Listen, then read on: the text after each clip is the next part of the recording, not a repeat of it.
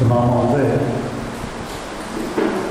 நாம் என்ன தெரிஞ்சுக்கிட்டோமோ அதை சரியாக தெரிஞ்சுக்கிட்டோம்ங்கிறது வந்து நமக்கு வந்து ஒரு ஒரு கன்ஃபர்மேஷன் ஒரு உறுதி இருந்தால் தான் நம்ம தெரிஞ்சது வந்து வேலை செய்யும். இப்போ நம்ம ரோட்டில் நடந்து போகிறோம் ஒரு ஒரு அளவு நல்ல அறகுறையான வெளிச்சம். ஒரு நல்ல பெல்ட் ஒன்று தரையில் கிடக்குது அப்போ யாரோ ஒருத்தர் போகிற வழியில் அந்த பெல்ட்டை விட்டு போயிட்டாங்க போல. நீ நினச்சி நம்ம அதை தூக்குறோம். தூக்கி பார்த்தா பாம்புன்னு தெரியும். அது பாம்புன்னு தெரிஞ்ச உடனே தூக்கி அது வீசி போட்டு அது எங்கே போகுது? நாம அங்கே போய் திருப்பி போயிடும் இப்போ அதில் வந்து அது பெல்ட்டா பாம்பானிட்டு டவுட் இருந்துச்சுன்னா நம்மளுடைய தூக்கி போட மாட்டோம். அப்போ நம்ம வந்து என்ன தெரிஞ்சுக்கிட்டோமோ அதை வந்து நம்ம கன்ஃபார்ம் பண்ண வேண்டிய ஒரு அவசியம். இப்போ பொதுவாக என்னன்னு சொன்னால் இந்த கன்ஃபர்மேஷனில் தான் கொஞ்சம் முக்கியமான விஷயம். நமக்கு எல்லாருக்குமே வந்து அண்டர்ஸ்டாண்டிங் வந்து ரொம்ப சுலபமாக கிடச்சிது அது ஒன்றும் கஷ்டமே இல்லை. புக்கை படித்தவங்களுக்குலாம் அப்புறம் அண்டர்ஸ்டாண்டிங் ஆயிடும் இந்த கன்ஃபர்மேஷன் கிடைக்காதனால என்னென்னா அங்கேயும் இங்கேயுமா அப்படி போயிட்டு போயிட்டு வந்துட்டு இருக்கிறாங்க. அந்த கன்ஃபர்மேஷன் கிடைச்சிட்டுன்னா இப்போ ஒரு ஒன்றுமே இல்லை. இப்போ உங்கள் காலில் நீங்கள் நிற்கலாம் நம்ம யாரையுமே ரிலே பண்ண வேண்டிய அவசியம் இல்லை.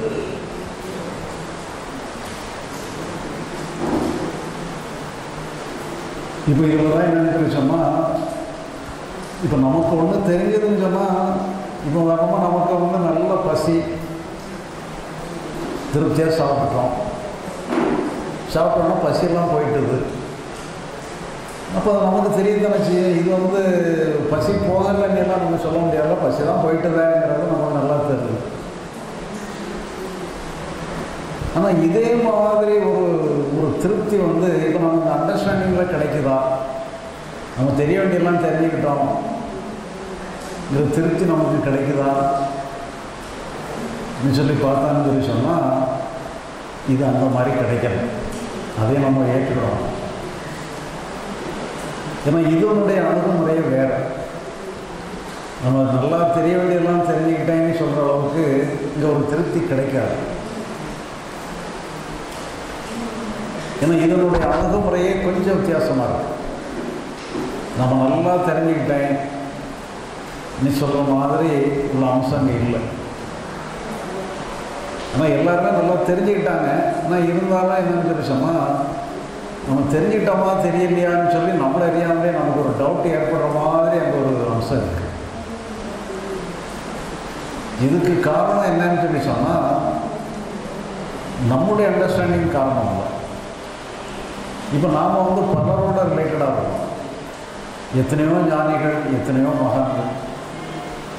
அவங்களோடலாம் ரிலேட்டடாக இருக்கும் பொழுது அவங்க சொல்கிற கருத்துக்கள் அவங்களுடைய கான்செப்ட் இதெல்லாம் நம்மளோட தொடர்புடையது.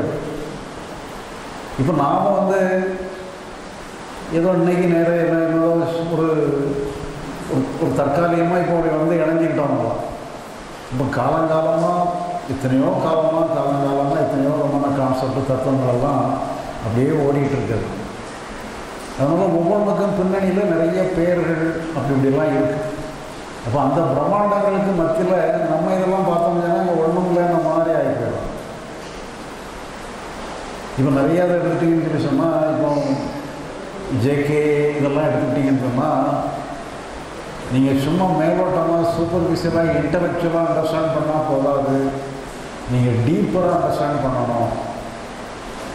அது ஆக்சுவல் அண்டர்ஸ்டாண்டிங்காக இருக்கணும்படி சூப்பர்ஃபிஷியல் அண்டர்ஸ்டாண்டிங்காக இருக்கக்கூடாதுங்கிற மாதிரிலாம் நிறைய இடங்கள் சொல்கிறோம்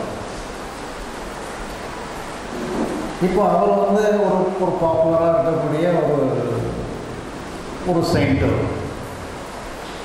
இப்போ நாம் என்ன சொல்கிறோம்னு சொன்னால் அப்படி டீப்பர் லெவல் அண்டர்ஸ்டாண்டிங்கே கிடையாது. நீங்கள் சூப்பர்ஃபிஷியலாக புரிஞ்சுக்கிட்டால் போதும்னு நம்ம சொல்லும் பொழுது அப்போ இதே அதையும் கம்பேர் பண்ணி பார்த்தீங்கன்னு சொன்னால் ஜேகே எங்கே இவர் எங்கேங்கிற மாதிரி நினச்சிட்டாங்கன்னு சொன்னால் பிரச்சனை ஆகிடும் இப்போ எல்லாம் பார்த்தீங்கன்னு சொன்னால் நிறைய மகான்களுடைய வாக்கியங்கள் அவங்களுடைய தத்துவங்கள் எல்லாமே இங்கே வந்து ஒரு ஒரு டிஸ்டர்பன்ஸ் பண்ணுற மாதிரி ஆகிடும் இப்போ இதில் என்னன்னு சொல்லி சொன்னால் நம்ம அங்கே வந்து தெரிஞ்சுக்கிட்டது வந்து ஒரு கிரேட்டஸ்ட் விஸ்டத்தை தெரிஞ்சுக்கிட்டு நான் நிறைய தெரிஞ்சுக்கிட்டேன். அந்த தெரிஞ்சதை அப்படியே செயல்படுத்துவேங்கிற மாதிரி நம்ம இங்கே ஒன்றுமே நம்ம கொடுக்கல. நீங்கள் என்னெல்லாமோ விசாரித்து பார்க்குறீங்க விசாரி நம்ம வந்து அறிவுபூர்வமாக ஆராய்ச்சி பண்ணி என்னெல்லாமோ ஸ்டெப் பை ஸ்டெப்பெல்லாம் கொடுக்குறோம்.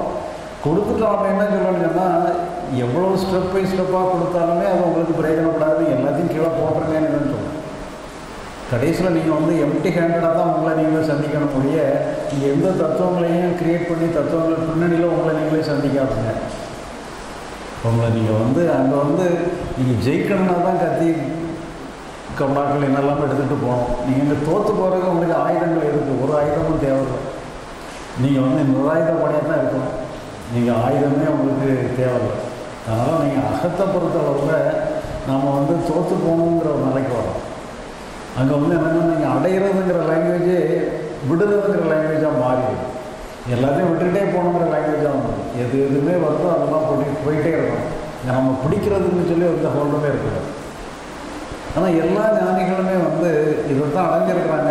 நிறைய பேருக்கு அந்த அடைஞ்ச நிலையில் அந்த அடைஞ்சதே தெரியாமல் இருக்கும். அப்படிலாம் கூட சில ஞானிகள் இருக்கிறாங்க. இப்போ ரமணரா மகரிஷியெல்லாம் எடுத்துட்டோம்னு சொல்லி சொன்னால் ஒரு பதினாறு வயசில் அவருக்கு ஞானம் அடையும் ஒரு ஞானம் அடையும் போது அவருக்கு ஞானம் அடைஞ்சாங்கிறதே தெரியாது. ஏதோ ஒரு வித்தியாசமாக ஏற்பட்டிருக்குன்னு மட்டும் புரியுது. என்ன ஏற்பட்டுங்கலாம் அவருக்கு தெரியாது. அவர் பதினாறு வயசில் இருக்கும் பொழுது அவருக்கு ஒரு மரணம் பையன் ஏற்படுது இந்த மரணம் அவர் அப்போ ஒரு சின்ன பையன் ஸ்கூல் ஸ்டூடெண்ட் பதினாறு வயசு பையனை கற்பனை பண்ணி பாருங்க எப்படி இருப்பாங்க ஒன்றும் தெரியாது. எந்த ஆன்மீக பயிற்சி முயற்சி எதுவுமே கிடையாது. எந்த ஆன்மீக நூலையும் படித்ததில்லை திடீர்னு மரண பயம் ஏற்படுது. அந்த மரண பயத்தை அப்படியே மனம் மரணம் அதை ஏற்றுக்கிட்டார். சரி வந்தால் வந்துட்டு போட்டோம். மரண பயத்தில் ஒன்றும் தப்பாக வந்தால் வந்துட்டு போட்டோம்னு சொல்லி இந்த மரண பயத்தை அப்படியே ஏற்றுக்கிட்டார். அப்படி ஏற்றிடும் பொழுது அது அது அவரை கடந்து அப்படியே போயிட்டு. அப்போ ஏதோ ஒரு வித்தியாசமாக எனக்கே புரிஞ்சு ஒரு குழந்தைத்தனமாக ஏதோ ஒரு வித்தியாசமாக புரிஞ்சுக்கிட்டார். என்ன புரிஞ்சுக்கிட்டானே அவருக்கே தெரியல. பிறகு லேட்டராக அவர் வந்து பிற்காலத்தில் அவரை சுற்றி நிறையா பண்டிதர்கள்லாம் கூடியிருக்கும் பொழுது நிறையா சாஸ்திரங்கள்லாம் ஆராய்ச்சி பண்ணும் பொழுது ஓ நாம் அன்னைக்கு அடைஞ்சது இதுதான் சொல்லி பின்னால் தான் அதை கன்ஃபார்ம் பண்ணிக்கிறார் இப்படி தான் நிறைய ஞானிகளுடைய லைஃப் அப்படி தான் நடக்குது. அரவிந்தருடைய ஒரு ஒரு ஆர்டிக்கலை படிக்க நேரம் அவர் என்னன்னு சொல்லி சொன்னால் என்னெல்லாமோ தியானம் தவங்கள் எல்லாம் பண்ணி பார்க்குறாரு. பண்ணும் பொழுது நிறைய அனுபவங்கள் கிடைக்குது அந்த அனுபவங்கள் வந்து அவருக்கே செழிப்பாயிடும். என்னதோ திருப்பி திரும்பி வருது அது அவருக்கு வந்து அந்த லிபரேஷன் கிடைக்காத வரைக்கும் அவருக்கு அது ஒரு திருப்தி இல்லை. அதனால் என்னன்னு சொன்னால் ஒரு ஒரு ஒரு ஒன்றும் கடைசியில் ஒரு கட்டத்தில் வந்து போதும் எல்லா அனுபவங்களும் போதும்னு சொல்லி எல்லா தவ முயற்சியும் அப்படியே மூட்டை கட்டி வச்சுட்டு சும்மா உட்காந்துடுறாரு ஒரு ஒரு வருஷம் எதுவுமே பண்ணலாம் அந்த நிலையில் அவருக்கு அவரை அறியாமலே ஒரு மாற்றம் ஏற்படும் எப்படி ஏற்பட்டுமே அவருக்கு ஒன்றும் பண்ணலைன்னா மாற்றம் ஏற்பட்டுருக்கு. ஏன்னு அவருக்கு புரியல. அப்போ அந்த சந்தர்ப்பத்தில் அவருக்கு ஒரு குருநாதர் வந்திருக்கிறார். அப்போ அவரை போய் சொல்லியிருக்கார்.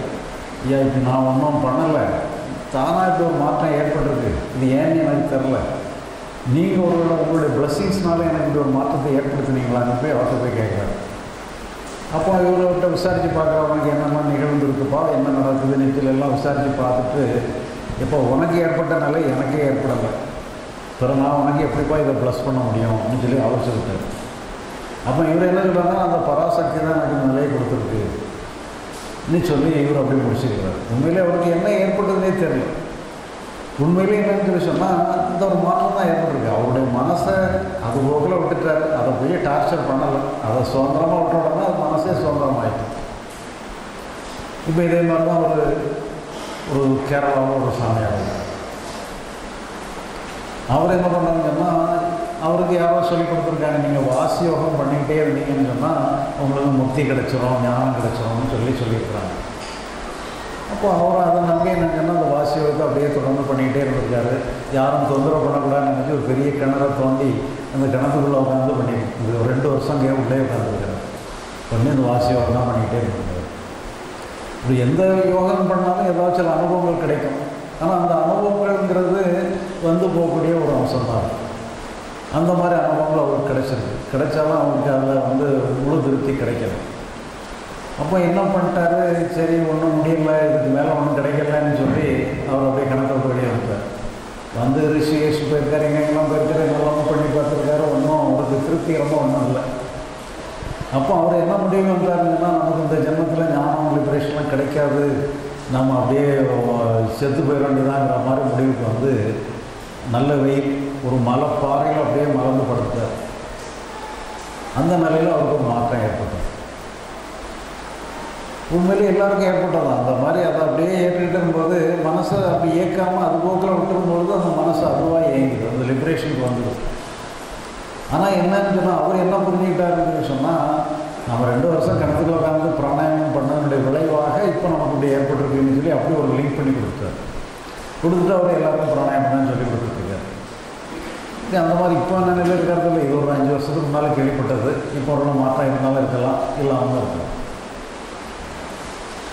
இப்போ இந்த மாதிரி என்னன்னு சொல்லி சொன்னால் அது எப்படி ஏற்படுதுங்கிறத பற்றிய ஒரு தெளிவான ஒரு கருத்தை நம்ம சமுதாயத்தில் இல்லாமல் இருக்குது அது ஒரு காரணம். ஏன்னு சொல்லி சொன்னால் நமக்கு அவைலபிள் ரெக்கார்ட்ஸ் வச்சு தான் நம்ம எல்லாத்தையும் வெரிஃபை பண்ணுவோம். இந்த ரெக்கார்ட்ஸில் என்னன்னு சொல்லி சொன்னால் அதுக்கு ஏதோ ஒன்று பண்ணணும் ஏதோ கிடைக்கணுங்கிற மாதிரி அதோட அனுபவத்தோட வரிசையில் தான் ஞானத்தையும் லிபரேஷனையும் வச்சுக்கிட்டே இருக்கிறாங்க. உண்மையில் அது எல்லா எல்லாத்தையும் விட்டுட்டு போகிறோம் இப்போ நம்ம சாஸ்திரங்கள் எடுத்து பார்த்தீங்கன்னு சொன்னால் அதுலேயுமே வந்து கொஞ்சம் மறைமுகமாக தான் அந்த விஷயத்தை சொல்லப்பட்டிருக்க வழிய நேரடியாக இது இப்படித்தானே சொல்லி பட்டவர்த்தமாக சொல்லலாம் இந்த சாஸ்திரத்தை எடுத்து பார்த்தீங்கன்னா இதை நம்ம சொல்கிறது கரெக்டுங்கிற மாதிரி ஒரு அர்த்தம் வர்ற மாதிரி தான் இருக்கிற வழிய இப்படித்தானே சொல்லி வாங்கி சொல்கிற மாதிரி இல்லைங்களா அதனால நமக்கு என்னன்னு சொன்னால் போதுமான ரெக்கார்ட்ஸு ரெக்கா அந்த இல்லாததுனால நமக்கு வந்து அதை பற்றி ஒரு ஐடியாவே இல்லாமல் இருக்கு. அப்போ நம்ம வந்து என்னன்னு சொன்னால் அது நமக்கு நாமளே கன்ஃபார்ம் பண்ண வேண்டிய அவசியம் இப்போ நேற்று ஒருத்தர் மதுரையிலேருந்து ஃபோன் பண்ணார். உங்கள் நூலில் ஒரு நேரம் சந்தித்ததில் போல தருது நான் உங்கள் நூலில் ரெண்டு வருஷமாக படிச்சுட்டு இருக்கிறேன். இப்போ நான் நல்ல நிலையில் இருக்கேன். எனக்கு எந்த பிரச்சனையும் இல்லை.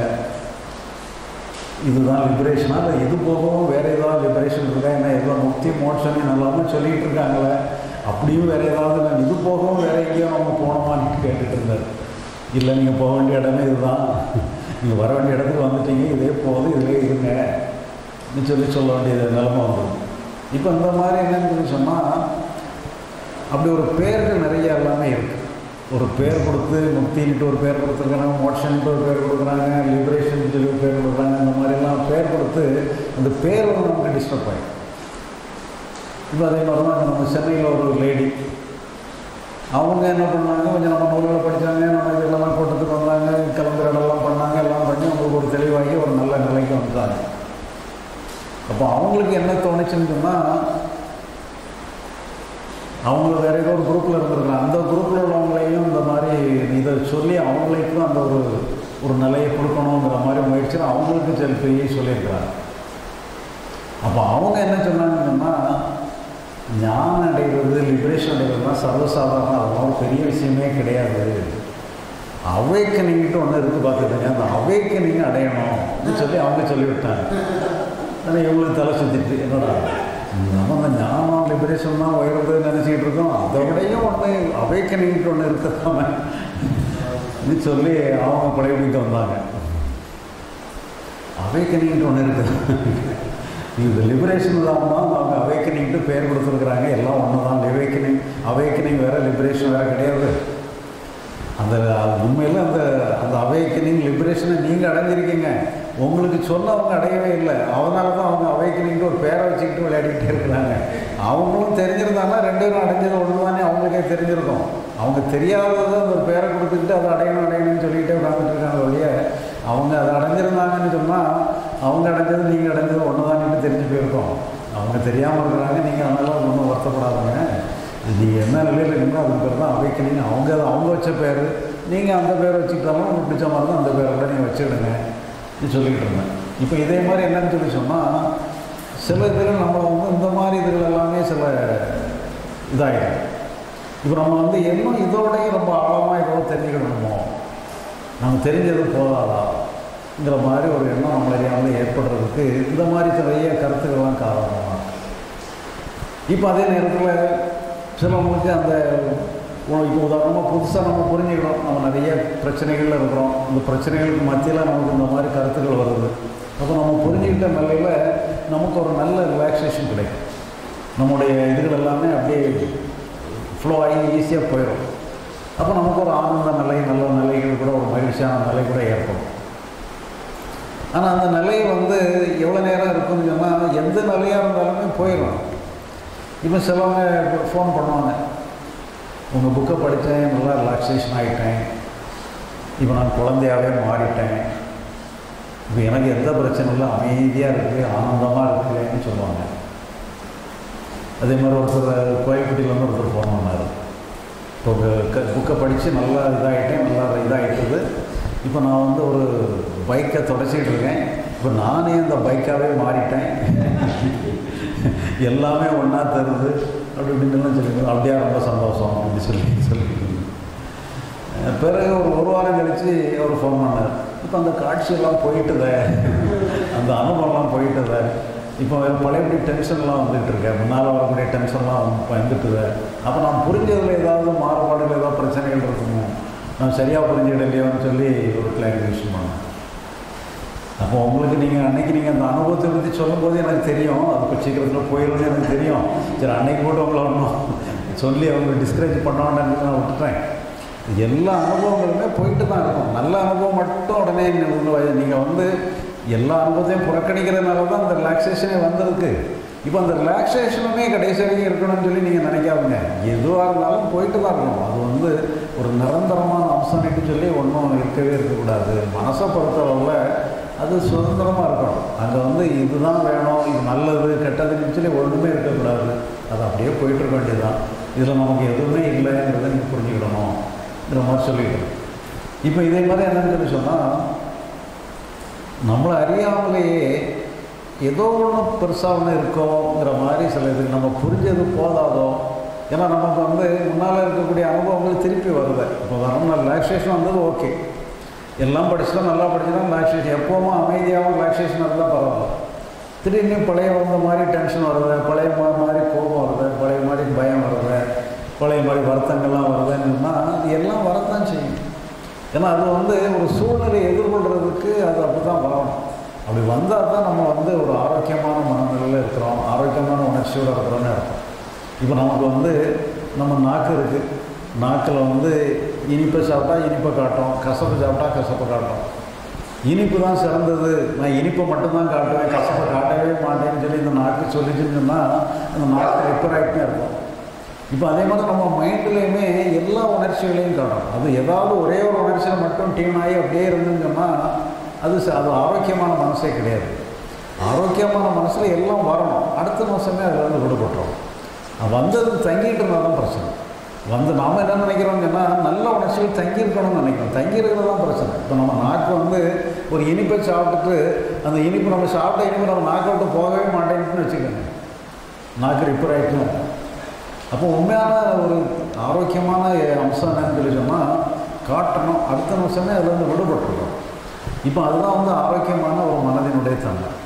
எப்படி நம்முடைய எல்லா புலன்களுமே ஒன்று ரிஃப்ளெக்ட் பண்ணுது. ரிஃப்ளெக்ட் பண்ணிவிட்டு அப்போவே விட்டுருது. இப்போ நீங்கள் வந்து ஒரு சப்தத்தை கேட்டிங்கன்னு சொன்னால் அந்த சப்தம் அங்கேயே நின்றுட்டு இருக்காரு அடுத்த நிமிஷம் அதில் போயிடும் ஒரு காட்சியை பார்த்தீங்கன்னா இந்த காட்சியை நீங்கள் பார்க்கும்போது அந்த காட்சி தெரியும். அடுத்த நிமிஷம் அந்த காட்சி விடுபட்டுருவோம் நீங்கள் ஒரு ஆளை பார்க்கும்போது அது அவருடைய உருவம் தருது. நீங்கள் அடுத்தவரை எட்டி பார்த்தீங்கன்னா அந்த முதல் உருவம் மறைஞ்சு அடுத்த உருவம் வந்துடுது அப்படி அது ஃப்ளோயிங்லேயே இருக்கணும். ஆனால் மனசு மட்டும்தான் என்னன்னு சொல்லி சொன்னால் ஏதாவது ஒரு அனுபவம் வந்து அதை பிடிச்சிக்கிட்டு அதே ஒரு அனுபவத்தோடு இருப்பேங்கிற மாதிரி ஒரு ஸ்டாண்ட் எடுத்துடும் எப்படி எல்லா புலன்களும் வந்து ஒரு லிவிங்காக இருக்கிற மாதிரியோ வந்து வந்து ஃப்ளோயிங்கில் இருக்கிற மாதிரி இருக்குதோ அதே மாதிரி மைண்டும் அதே நிலவுக்கு போயிடும். இது ஒரு புலன் தான். அந்த புலனில் வந்து அந்த மெமரி இருக்கிறனால அந்த மெமரியை வந்து செலக்ட் பண்ணிடும். இது நல்லா இருக்குது இதை பிடிச்சி வச்சுக்குவேன் இது நல்லா இல்லை இதை அப்புறப்படுத்திடுவேன்னு சொல்லி அந்த மெமரியினுடைய இன்டர்ஃபரன்ஸ்னால அதுங்க வந்து இந்த மாதிரி ஒரு பிளாக்கை ஏற்படுத்திடும் அப்போ சைக்கலாஜிக்கலாக பொறுத்த அளவில் நமக்கு ஒரு அமைதி போய் ஒரு டென்ஷன் வந்தாலுமே கூட அதுவும் நேச்சுரல் தானே எடுத்துக்கிட்டோங்கிற மாதிரி தான் நம்ம எடுத்துக்கிறோம் இதனால் நம்ம அண்டர்ஸ்டாண்டிங்லலாம் டிஸ்டர்ப் ஆகிட்டுன்ட்டு அர்த்தம். இப்போ உதாரணமாக நாம் ஒரு ஒரு வாடகை வீட்டில் குடியிருக்கிறோம். பத்து வருஷமாக அங்கே தான் நம்ம குடியிருக்கிறோம். குடியிருந்துட்டு நாம் என்ன பண்ணுறோம் அப்புறம் அடுத்து அதுக்கு வருஷம் வந்து பதினொன்றாவது வருஷம் வந்து பக்கத்து தெருவில் இன்னொரு வீட்டில் போய் குடியாது. நம்ம பிள்ளைகள் அங்கே பக்கத்தில் ஸ்கூல் இருக்குது அந்த தெருவுலேயே ஸ்கூல் இருக்குது அந்த அப்படியே அங்கே ரோட்டை கிராஸ் பண்ணாமல் அப்படியே ஸ்கூலுக்கு போயிடலாம் அதனால் பக்கத்து தெருவுக்கு போவோமேன்னு சொல்லி பக்கத்து தெருவு கிடைப்போம். நம்ம குடி போய் ஒரு ரெண்டு நாள் ஆச்சு. நாம் ஆஃபீஸில் வந்து பைக் எடுத்துக்கிட்டு வரோம்.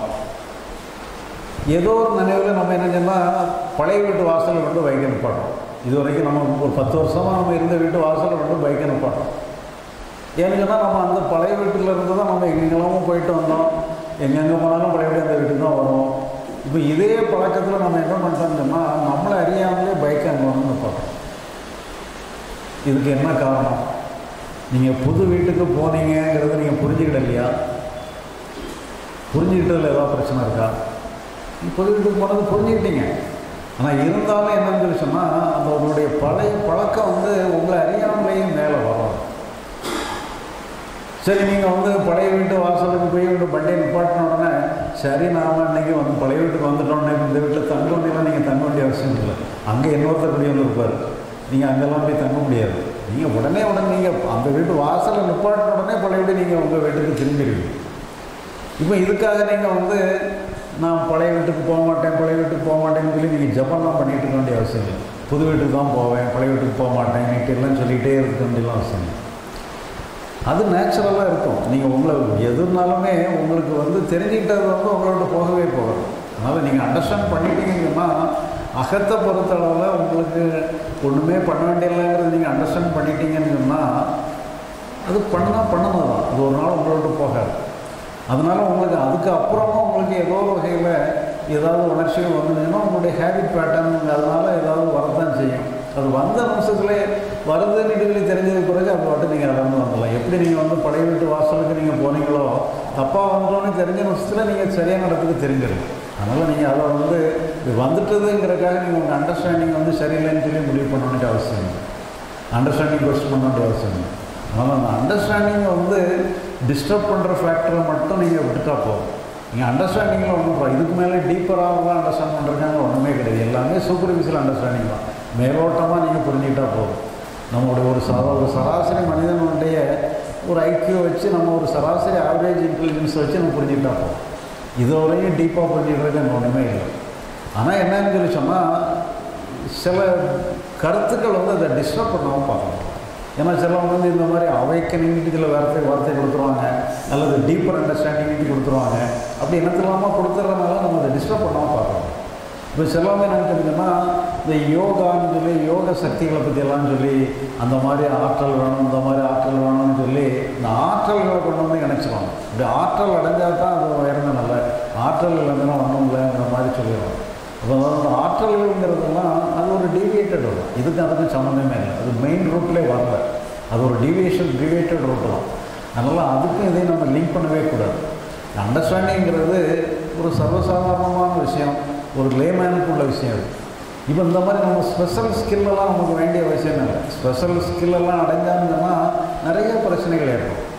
இப்போ அதில் இப்போ அதே மாதிரி தான் ஒரு ஒரு லேடி அவங்க ஏதோ அந்த சித்தர்கள் நூல்களெல்லாம் எடுத்து படித்து இந்த மாதிரி என்னெல்லாமோ அவங்களுக்கு சில தரிசனங்கள் காட்சிகள் என்னெல்லாமோ கிடைக்க ஆரம்பிச்சிட்டு அவங்களுக்கு சில சில சக்திகள் கூட வந்து இடத்துல நோயை குணப்படுத்துகிற ஆற்றல் அந்த மாதிரிலாம் வந்து அப்புறம் அதனால நிறைய பிரச்சனைகள் ஆகிப்போச்சு பிறகு அவங்க என்ன பண்ணாங்கன்னா இப்போ அவங்களுக்கு ஏதோ ஒரு மாதத்துக்கு ஐம்பதாயிரரூபா ஏர்ன் பண்ணிக்கிட்டு இருந்தாங்க. இப்போ அவங்களுக்கு என்னங்கன்னா இந்த ஏர்னிங்கெல்லாம் போய் பிள்ளைகளுக்கும் படிக்க வைக்கிறதுக்கு முடியாமல் கடனாகி போயிட்டேன். எனக்கு இந்த இந்த இதுலேயே வேண்டாம் எனக்கு இதுலேருந்து விடுபடுறதுக்கு ஏதாவது வழி சொல்லுங்கன்ட்டு வந்துட்டு இருந்தாங்க. இப்போ அதெல்லாம் என்னன்னு சொல்லி சொன்னால் அது கிடைக்கும் வர வரைக்கும் ஏதோ ஒரு பெரிய விஷயம் ஏதோ இருக்குங்கிற மாதிரி ஒரு தோணுது. உண்மையில் அது நமக்கு தேவையில்லாத விஷயம். அப்போ அந்த அவங்க சொல்லும் பொழுது அவங்களே சொல்கிறாங்க அந்த புக்கில் வந்து நிறைய சித்தர்கள் நூல்கள்லாம் இருக்குது இந்த புக்கை வேணால் என்ன பண்ணுறதுன்னு தெரில இது யார்கிட்டையாவது கொடுத்தா கொடுக்கலாமான்னு நினச்சி பார்த்து அவங்கள்ட்ட கொடுத்தா அவங்களும் கெட்டு போயிடக்கூடாதுன்னு சொல்லி பயமாக இருக்குது சொல்லி அதே அவங்களே சொல்லிக்கிறாங்க அப்புறம் அந்த மாதிரி சில இதுகளெல்லாம் அப்படி ஆயிடும் அதனால் அது வந்து கிடைக்கிற வரைக்கும் ஒரு பெரிய விஷயமா தருது கிடைச்ச பிறகு அது ஒரு உண்மை இல்லை. அதே மாதிரி இப்போ எங்கள் ஏரியாவில் ஒருத்தர் சொல்லுவாங்க. ஒருத்தர் வந்து யாருக்கு என்ன வேணாலும் எடுத்து கொடுத்துருவார். உங்களுக்கு லட்டு வேணுமா? நான் அல்வா வேணுமா? அப்படிங்கன்னு சொல்லி கொடுப்பாங்க. கொடுத்தா அது உண்மையாக இருக்கும். அதை நீங்கள் சாப்பிடலாம். நான் எல்லாத்துக்கும் வேணுங்கிறவங்களுக்குலாம் கொடுத்துட்டு கடைசியில் என்ன சொல்கிறாருன்னு சொன்னால் எனக்கு ரொம்ப பசியாக இருக்குப்பா ஹோட்டலில் ஏதாவது வாங்கிட்டு வாங்க ஏன்னா அது அவங்க அவங்களுக்கு க்ரியேட் பண்ணி அவர் சாப்பிட எடுக்க முடியாதா? அவருக்கு முடியாது அது. அதை என்னன்னு சொல்லி சொன்னால் இந்த மாதிரி சக்திகளுக்கெல்லாம் லிமிட்டேஷன் இருக்குது அவங்க இஷ்டப்படியெல்லாம் ஒன்றும் பண்ண முடியாது. சும்மா ஒரு வித்தை காட்டி அடுத்தவங்க மகிழ்விக்கிற மாதிரி ஒரு என்டர்டெயின்மெண்ட் மாதிரி பண்ணிக்கிடலாம் அது வந்து ரியாலிட்டிக்கு உள்ளே நுழைஞ்சிட்டு வந்துட்டுன்னு சொல்லி சொன்னாலே இந்த கர்மாவை டீல் டிஸ்டர்ப் பண்ணுற மாதிரி ஏதாவது ஒன்று பண்ணிச்சுன்னா பிரச்சனையை க்ரியேட் பண்ணி. அதனால தான் அவங்க இஷ்டப்படியெல்லாம் ஒன்றும் எல்லாம் பண்ணிடக்கூடாது.